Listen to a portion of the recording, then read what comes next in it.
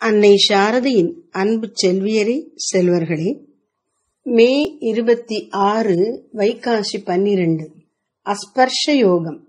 என் ஆருயிரே நீ எனக்கு புறம்பாய் இருந்தால் அல்லவோ நான் உன்னை வந்து அடைதல் என்பது ஏற்படுகிறது.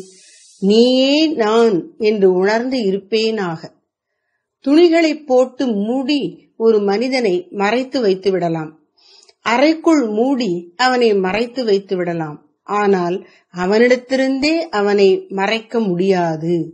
தன் பிரஜையினின்று மனிதன் எந்த அவஸ்தையிலும் பிரிவதுமில்லை. பின்பு அதனோடு போய்ச் சேருவதும் இல்லை. யாண்டும் பிரஜை சுரூபமாக அவன் இருக்கிறான். தன் யதார்த்த சொரூபத்தை அவன் புதிதாக போய்த் தொடுவதில்லை. தான் தன்மயமாய் இருப்பது அஸ்பர்ஷ தொடாத யோகம். மாயா விகார மலமொழி சுத்தாவஸ்தை தோயா அருளை தொடருநாள் என்னாளோ? தாயுமானவர். சிந்தனைக்குரிய ஒரு பெரிய விஷயம் இங்கே எடுத்துரைக்கப்படுகிறது. அஸ்பர்ஷ யோகம் ஸ்பர்ஷம் அப்படின்னா தொடுதல் ஸ்பர்ஷ உணர்ச்சி அப்படின்னு சொல்றோம். அந்த தொட்டுணர்ச்சி. அஸ்பர்ஷம்னா தொடாதிருத்தல். அஸ்பர்ஷ யோகம் என்ன? என் ஆறுயிரே நீ எனக்கு புறம்பாய் இருந்தால் அல்லவோ நான் உன்னை வந்து அடைதல் என்பது ஏற்படுகிறது. ஒரு பொருளை அடைகிறோம் அப்படின்னு சொன்னா அதுல இருந்து முதல்ல விலகி தள்ளி இருக்கோம் அப்புறம் அது கிட்ட போறோம்னு அர்த்தம். இப்ப உதாரணமா ஒரு ஓட்டப்பந்தயம்னு வச்சுப்போம். வெற்றி கோடு ஒரு இடத்துல போட்டிருக்கு. ஆரம்பிக்கும் பொழுது எல்லா ஓட்டப்பந்தய வீரர்களும் நிக்கக்கூடிய இடம் வந்து அந்த வெற்றி இருந்து நூறு மீட்டரோ இருநூறு மீட்டரோ நானூறு மீட்டரோ தள்ளி இருக்கும். ஓடி போய் யார் முதல்ல அந்த கோட்டை தொடர்றாங்களோ காலால அந்த கோட்டை மிதிச்சிடுறாங்களோ அதை தாண்டி போறாங்களோ அவங்க ஜெயிச்சிட்டாங்க அப்படின்னு சொல்றோம். அப்ப அதுலேருந்து தள்ளி இருக்காங்க. அதை நோக்கி ஓடுகிறார்கள் பிறகு அதை அடைகிறார்கள். அது மாதிரி நீ வந்து கடவுள்கிட்ட இருந்து தள்ளி இருக்க அதுக்கப்புறம் நீ முயற்சி எடுத்து கடவுள்கிட்ட போற அப்புறம் கடவுளை அடைகிற. அப்படியா? இல்லை. ஏன்? அது எப்ப நடக்கும்? நமக்கு வெளியில நமக்கு அந்நியமா நம்மகிட்ட இருந்து தள்ளி இருக்கிற ஒரு பொருளைத்தான் போய் அடைவதுங்கிறது இருக்கும். எனக்கு புறம்பா இருந்தால் அல்லவோ நான் உன்னை வந்து அடைதல். உன்னிடம் வந்து சேருதல் என்பது ஏற்படுகிறது. இப்போ கடவுள்னு சொல்வது ஆரம்ப நிலையில எங்கேயோ கைலாயம் வைகுண்டம் பரலோகம் ஸ்வர்க்கம் அங்க எங்கேயோ இருக்கிறார் அப்படின்னு தோணும். ஆனா இவன் உள்ளத்துல பக்தி பெருகும்போது தெளிவு வரும்போது அறிவு ஏற்பட ஏற்பட எங்கேயோ தள்ளி இல்ல இந்த உலகத்துல இத்தனையமா இருப்பது இறைவன் தான் என்று தோணும். இன்னும் இவன் ஆழ்ந்து செல்லும் பொழுது இவனுக்கு விளங்கக்கூடிய உண்மை அறுதி உண்மை என்ன? நானே அது. இத்தனை நாள் நான் தெய்வம் என்று நினைத்து வணங்கிக் கொண்டிருந்த பொருள் உண்மையில் என்னுடைய உண்மை இயல்பு என்பது அவனுக்கு விளங்கி விடுகிறது. அப்ப அவன் என்ன செய்யணும்? நீயே நான் என்று உணர்ந்து இருப்பேனாக. கோடு தள்ளி இருக்குன்னு சொன்னா இங்கேருந்து ஓடி போய் அந்த வெற்றி கோடை தொடணும். இதுல வெளியில அப்படி எதுவும் தொடுவதற்கு ஒன்றும் இல்லை. நானே அந்த மெய்ப்பொருள்னு சொல்லிட்டா என்ன செய்யணும்? அதை அறிந்து அமைதியா இருக்கணும் அவ்வளவுதான். உணர்ந்து இருப்பேனாக. அப்போ இறைவனை அடைதல் என்பது உண்மையில் இறைவனை அறிதல் உணர்தல் அதுவாய் இருத்தல். அதனால இதை தள்ளி இங்கேருந்து போய் அங்க போய் உன்னை தொடுவது என்பது இல்லை என்பதால் இறைவனை அடைதல் என்பது அஸ்பர்ஷ யோகம் அல்லது தொடாத யோகம் என்கிறார் சுவாமிஜி. இது சாஸ்திரத்துல சொல்லப்பட்டுள்ள ஒரு உண்மைதான். துணிகளை போட்டு மூடி ஒரு மனிதனை மறைத்து வைத்து விடலாம். அவன் இருக்கிறது வெளியில தெரியாம. அறைக்குள் மூடி அவனை மறைத்து வைத்து விடலாம். யாரோ தேடிட்டு வராங்கன்னா ஒரு ரூமுக்குள்ள போட்டு பூட்டி வச்சுட்டோன்னா இந்த ரூம்ல இருக்கிறத அவங்க தேடல. எங்கெங்கயோ பார்த்துட்டு அவன் இல்லைன்ட்டு போயிட்டாங்க. அது மாதிரி மறைத்து வைத்து விடலாம். ஆனால் அவனிடத்திருந்தே அவனை மறைக்க முடியாது. அப்படி மத்தவங்க எல்லாம் அவனை தேட வந்தவங்க சுத்தி பார்த்துட்டு இருக்காங்க. இவன் இங்க ஒளிஞ்சு மறைஞ்சு இருக்கிறான். அப்போ அவங்க கண்ணுக்கு இவன் படல. ஆனா தன் உணர்வுல இருந்து நான் எங்க இருக்கேன்? இவன் தன்னை தேடுவானா? வந்தவர்கள் இவனை தேடுவார்கள். ஆனால் இவன் தன்னை தானே தேட மாட்டான் நான் இருக்கேனே. அவனுக்கு தெரிகிறது. நான் இருக்கிறேன் என்பது அவனுக்கு நன்கு தெரிகிறது. அவனிடத்திருந்தே அவனை மறைக்க முடியாது. இது ஒரு அடிப்படை உண்மை. தன் பிரஜை நின்று மனிதன் எந்த அவஸ்தையிலும் பிரிவதும் இல்லை. பின்பு அதனோடு சேருவதும் இல்லை. பிரஜை பிரஜைனா உணர்வு. உணர்ச்சி இல்ல உணர்வு. கான்சியஸ்னஸ் சைத்தன்யம் சுத்த சைத்தன்யம் தூய பேருணர்வு. அது எப்படி இருக்கும்னா நான் இருக்கிறேங்கிற உணர்வு. இப்ப உதாரணமா எனக்கு காய்ச்சல் அடிக்குதா பாரேன் அப்படின்னு நம்ம சொல்லலாம். அம்மாட்ட சொல்றோம். உடனே அம்மா வந்து கழுத்தை தொட்டு பார்த்துட்டு இல்லடா கண்ணா காய்ச்சல்லாம் இல்ல அப்படின்னு சொல்றாங்க. அம்மா நான் இருக்கேன்னு கொஞ்சம் பார்த்து சொல்லேன். அப்படின்னு கேட்போமா? மாட்டோம். நான் இருக்கிறேங்கிறது எனக்கு தெள்ள தெளிவாக தெரிகிறது. அதுல சந்தேகமே கிடையாது.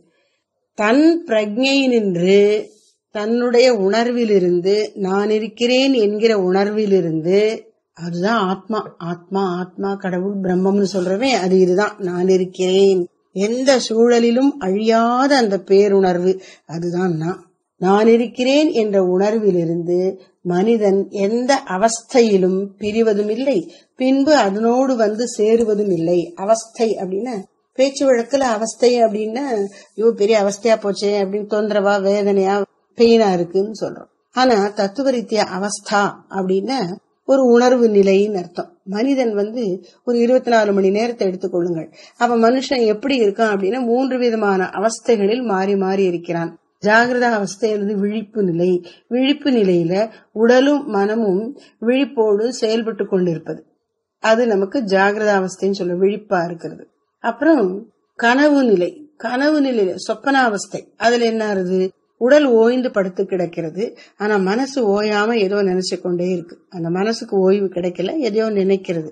அது கனவாக வடிவெடுக்கிறது அது ஒரு நிலை. பின்பு கனவு கூட இல்லாமல் ஆழ்ந்து அடிச்சு போட்ட மாதிரி கட்ட போல தூங்கிடுறான். அந்த கனவற்ற உறக்கம் மூன்றாவது நிலை சுஷுப்தி அவஸ்தை. இந்த மூன்று அவஸ்தைகள் உணர்வு நிலைகளிலும் அவன் தன்னிலிருந்து பிரிவதில்லை. விழிப்பு நிலையில் நமக்கே தெரிகிறது. கனவுலையும் கூட நான் அந்த கனவுல எல்லாருமே அவங்கதான் முக்கியமான ஆள். அப்புறம் வேற அனுபவங்கள்லாம் ஏற்படும். நான் இருக்கேன் நான் இதை பார்த்தேன் எனக்கு இப்படி வந்துச்சு எல்லாம் சொல்றேன் அப்ப நான்ங்கிறது வந்து கனவுலையும் தெரியுது. கனவற்ற உறக்கத்துல கனவற்ற உறக்கத்துல உடலோடு கூட மனமும் ஓய்ந்து விடுவதால் கனவற்ற உறக்கத்தில் என்ன நிகழ்கிறது நாம் எங்கிருக்கிறோம் எப்படி இருக்கிறோம்ங்கிறது நமக்கே தெரியறதில்ல. அதனால என்ன சொல்றோம்? அப்படியா தூங்கிட்டேன் கட்டவல தூங்கிட்டேன் எனக்கு ஒண்ணுமே தெரியல அப்படின்னு சொல்றோம். இடி இடிச்சது கூட தெரியாது சில பேருக்கு. அப்படி ஆழ்ந்து உறங்கி விடுகிறோம். கட்ட போல கிடக்கும். அறிவில்லாம இருக்க மாதிரி இருக்கு. ஆனா முழுக்க முழுக்க நமக்கு அறிவு இல்லையானா அப்படின்னு சொல்ல முடியாது. விழிச்ச உடனே அப்படி எப்படி இருந்தது? அப்படி தூங்கினதுன்னு கேட்டா அவ்வளவு நல்லா இருந்துச்சு. அந்த உறக்கம் அப்பா அதை மட்டும் நான் விட்டு கொடுக்கவே மாட்டேன்னு சொல்லு. தூங்கினா மனசுக்கு ஒரு புத்துணர்ச்சி வருது. உடலுக்கு ஒரு தெம்பு வருகிறது. எதனாலன்னா இந்த கவலை தரக்கூடிய உலக விவகாரங்கள்ல இருந்து விலகி மனதும் ஒடுங்கி ஆத்ம சந்நிதியில் இறைவன் சந்நிதியில் இருப்பதனாலே கனவற்ற உறக்கத்தில் இவனுக்கு அமைதியும் ஆனந்தமும் கிடைக்கிறது. அது எப்படி? விழித்த பிறகு அவனுக்கு தெரிகிறது. ஆனந்தமா தூங்கினேன். கட்டபோல தூங்கினேன் இல்லங்கல ஆனா அது ஆனந்தமாவும் இருந்தது. அப்படின்னு சொல்றோம். அப்போ இந்த மூன்று நிலைகளிலும் ஜாகிரத அவஸ்தை அல்லது விழிப்பு நிலை சொப்பனாவஸ்தை அல்லது கனவு நிலை சுஷுப்தி அவஸ்தை அல்லது கனவற்ற உறக்க நிலை இந்த மூன்று நிலைகளிலும் இவன் தன்னிலிருந்து பிரிவதில்லை. அதான் முக்கியம். பிரிந்துவிட்டு பிறகு போய் சேருவதும் இல்லை. அப்படி கனவற்று உறங்கிக் கொண்டிருந்த பொழுதும் இவன் முற்றிலும் தான் தானாய் இருந்து தான் இருக்கிறான். ஆனா அதை தெரிந்து கொள்வது யாரு? மனசு. புத்தி. அந்த மனசு தூங்கி விட்டதுனால அவனுக்கு தெரியல. அவன் இல்லாமல் போகவில்லை. எனவே யாண்டும் பிரஜை சொரூபமாக அவன் இருக்கிறான். எந்த நிலையில இருந்தாலும் சரி அதே மாதிரிதான் தூக்கத்தை மாதிரிதான் அது மயக்கமோ கோமா நிலையோ எந்த நிலையில இருந்தாலும் சரி அந்த உடலுக்கும் மனசுக்கும் தான் அதை அறியக்கூடிய சக்தி இல்லாம போய்விடுகிறது. நோயினாலோ அல்லது உறக்கத்தினாலோ. ஆனா இவன் தான் இருப்பது அவனுக்கு என்றும் உணர்வாகவே இருக்கிறது. தன் யதார்த்த சொரூபத்தை அவன் புதிதாக போய் தொடுவதில்லை. எப்பொழுதும் இந்த உணர்வு வடிவாக நான் இருக்கிறேன் என்கிற உணர்வு வடிவாக ஆத்மஸ்வரூபமாக அவன் இருக்கிறான். ஆனா அவனுடைய யதார்த்த சொரூபம்னா இயல்பான நிலை. எப்படி இருக்கிறதோ அப்படி. யதா அர்த்தம். எப்படி இருக்கிறதோ அப்படி. எப்படி இருக்கிறதோ அப்படி இருப்பதான அந்த இயல்பு நிலையிலிருந்து அவன் விலகுவதும் இல்லை. பிறகு அதை போய் தொடுவதும் இல்லை. தான் தன்மயமாய் இருப்பது அஸ்பர்ஷயோகம். தான் தானா இருக்கிறான் இன்னொருத்தர் வந்தா தான் அவர்கிட்ட பேசுறது பக்கத்துல போறது. யாரோ ஒருத்தர் ரொம்ப நாள் கழிச்சு ஒரு நண்பரை பார்க்கிறோன்னு ஓடி போய் அவன் கையை பிடிச்சிட்டு எப்படி இருக்கீங்க? அப்படிங்கிறோம். அங்க வந்து ஸ்பர்ஷம் தொட்டு ஆஹ் பிடிச்சிட்டு வா வா எப்படி இருக்க? அப்படிலாம் பேசுறோம். நம்மள நாமளே எப்படி தொட்டுக்கிறது? நம்ம உடம்ப தொடலாம். ஆனா நம்ம உடம்பு நாம இல்லையே. இந்த கையால் அந்த கையை தொடரும் அந்த கையால் இந்த கையை தொடரும் நம்ம உடம்ப நாம தொடரும் ஆனா நம்மள நாமள நாம எப்படி தொடருது நாம இந்த உடம்பு இல்ல. நாம இந்த மனசு இல்ல. நான் இருக்கிறேன் அப்படிங்கிற அந்த உணர்வு பிரஜை அதை போய் எப்படி தொடுவது? அதுவா இருப்பதுதான் அதனால தான் தன்மயமாய் இருப்பது அஸ்பர்ஷ யோகம் அல்லது தொடாத யோகம். அங்க உனக்கு அந்நியமான ஒரு பொருளைத்தானே நீ தொட முடியும்? உனக்கு நீயே அந்நியம் ஆவதே இல்லை. மாயா விகார மலம் ஒழி சுத்த அவஸ்தை தோய அருளை தொடரு நாள் என்னாளோ? தாய்மானவருடைய என்னாள் கண்ணி. சுத்த அவஸ்தை சுத்தமான நிலை தூய நிலை அருட்பெரு நிலை அது எப்படிப்பட்டது? மாயா விகார மலம் ஒழிந்து போகின்ற நீங்குகின்ற. இப்போ புற உலக வாழ்க்கையில எப்படி இருக்கு? மாயை அதனுடைய மாற்றங்கள் விகாரம்னு சொன்னா மாற்றங்கள் உருமாறி அமைந்து கொண்டே இருக்கு. புற உலகுல ஒரு பொருள் ஒரு பொருளோ மனிதர்களோ சூழ்நிலையோ இருந்தது இருந்தபடி அப்படியே இருக்கிறதுல மாறிக்கொண்டே இருக்கு. ஒரு கட்டடம் கூட பல நூறு வருஷங்களா அப்படியே இருக்குன்னு சொல்றோம். உண்மையிலே அது அப்படியே இருக்க முடியாது. எங்கேயோ ஒரு இடத்துல அதுல வந்து இது முளைச்சிருக்கும். ஏதோ ஒரு மாற்றம் ஏற்பட்டிருக்கும். காற்று வெயில்னா அதை தாக்கி இருக்கும் அப்ப மாறிக்கொண்டே இருக்கிறது. பிரபஞ்சத்துல எல்லா பொருட்களும் மாறி அமைந்து கொண்டே இருக்கின்றன. இங்க மாறாத உண்மை எது? எல்லாம் மாறிக்கொண்டிருப்பது என்பதுதான். இந்த மாற்றம் தொடர்ந்து இருக்கிறது அதைத்தான் விகாரம்னு சொல்றோம். மாயா விகாரம். ஒரு நேரம் இருந்தது போல இன்னொரு கணம் இல்லாமல் மாறிக்கொண்டே இருக்கக்கூடிய இந்த நிலைக்கு பேர் மாயை. அது எப்படிப்பட்டது? மலம். அது ஒரு உயர்நிலை அல்ல குறைந்த நிலை அழுக்கு.